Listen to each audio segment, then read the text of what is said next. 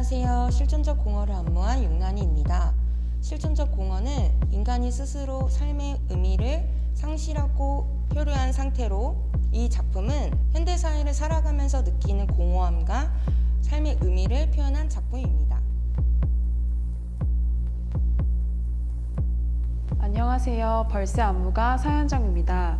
어, 벌새 작품은 크게 아울러 인간의 생존에 대한 이야기입니다. 그중 사회에서 바라보는 여성의 생존과 일에 대해 더 집중하게 되었고요. 음, 생존의 가장 첫 움직임은 걸음이라고 생각하게 되었고 어, 그 걸음으로부터 시작되는 생존의 모습을 표현하고자 했습니다.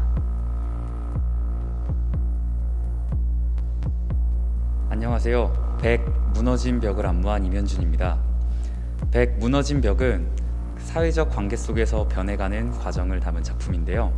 개인의 이상적 목표와 그 목표를 위해 서로를 밟고 나아가야만 하는 현대 사회의 일면을 작품에 다뤄보았으며 무언의 압박이나 상하 관계를 통해 해야만 하는 일 또는 행동 등을 모티브로 하여 작품을 진행하였습니다.